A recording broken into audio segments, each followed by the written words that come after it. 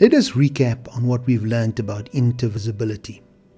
Let's look at a topographic map of PAARL. We're going to mark in four areas. We're going to draw a cross section from spot height 544 to the school. And we want to see if you stood at the school, would you be able to see those two mountains marked by trig beacon 162 and 348? Now let's look at the cross section because the cross section is very good at helping you to see intervisibility. So if you stood at the school, you'd be able to see the mountain marked with trig beacon 348. And so that's quite visible. But now, would you be able to see trig beacon 162, that mountain there? No, it won't because trig beacon 348 is blocking your view. And so can you see while the one is taller, you cannot see it. Now look at the side view here. Here you can see from the street, the mountain is blocking the view. You cannot see behind that mountain.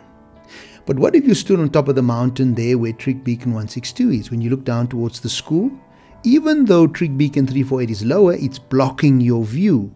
And so therefore you see it's not intervisible as we can see from the Google image.